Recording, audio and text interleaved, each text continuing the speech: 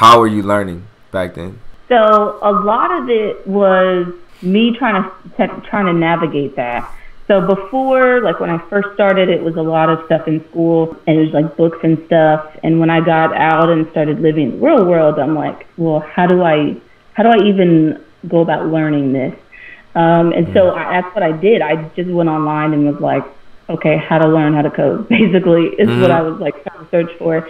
And any resource that came up, I would look at, and articles were super interesting to me. Mm-hmm. Um, learning about how people got into like coding and just figuring out what resources they use, mm-hmm. Um, mm-hmm. that helps me a lot. So a lot of it was just research and trying to figure out what resources.